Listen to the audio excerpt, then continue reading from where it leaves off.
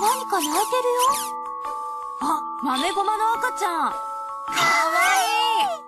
今度の豆ごまにはとってもキュートな赤ちゃんが登場。スイスイ泳ぐ豆ごまも見れちゃう。着せ替えだって思いのまま。言葉を教えていろんなポーズをさせちゃおう。通信でお友達とも遊べるよ。任天堂 d s ソフト「豆ごま2うちの子が一番」